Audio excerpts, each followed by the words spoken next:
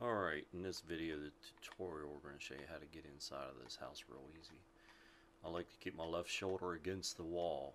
Finding an aim point makes it a lot easier. In this case, I'm aiming directly between the green and the white at that line.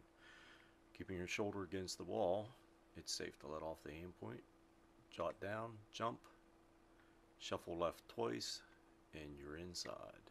Drop off the wall and you're good to go. That is the easiest way to get inside of this building.